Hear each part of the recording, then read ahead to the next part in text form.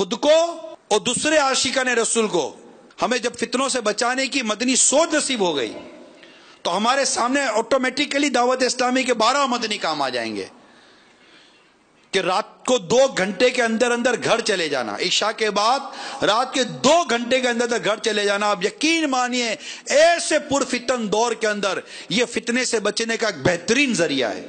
بندہ گھر چلا جائے۔ اب گھر جا کر کیا کرے؟ گھر جا کر ٹی وی دیکھنا ہے۔ دعوت اسلامی نے مدنی چینل دے دیا۔ گھر جا کر انٹرنیٹ پر ویب سائٹ دیکھنی ہے۔ دعوت اسلامی نے آپ کو ویب سائٹ دے دی۔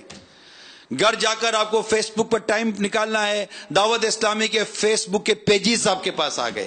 دعوت اسلامی کے واٹس ایپ کے میسیجز آپ کے پاس آ گئے۔ دعوت اسلامی کی تحریرات آپ کے پاس آ گئی گھر جا کر مطالعہ کرنا ہے۔ کچھ میگزین میں کیا لکھا ہے، کچھ پیپر میں کیا لکھا ہے؟ عجیب و غریب قسم کے فتنے فساد اور نظریات اور عقائد اور اعمال کو برباد کر دینے والی چیزوں کی تحریرات اس وقت مارکیٹ میں آتی ہیں۔ آپ کو اللہ تعالیٰ کی رحمت سے دعوت اسلامی نے مقتط المدینہ جیسی عظیم نعمت عطا فرما دی ہے۔ اس کی کتابیں ہیں، اس کے رسالے ہیں۔ چھوٹے بڑے رسالے، کم صفحے کے، زیادہ صفحے کے، موٹی کتابیں دے دی۔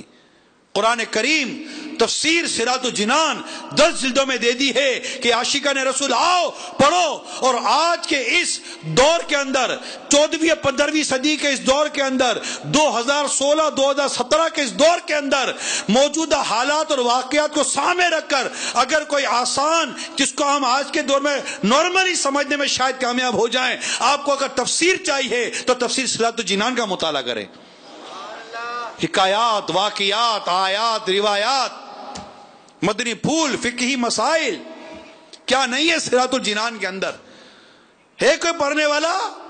قرآن کریم کو سمجھنے والا؟ قرآن کریم کو دیکھنے والا؟ دعوت فتنوں سے بچنے کی سوچ بننی پہلے ضروری ہے۔ فتنوں سے بچنے کی مدنی سوچ بننی ضروری ہے۔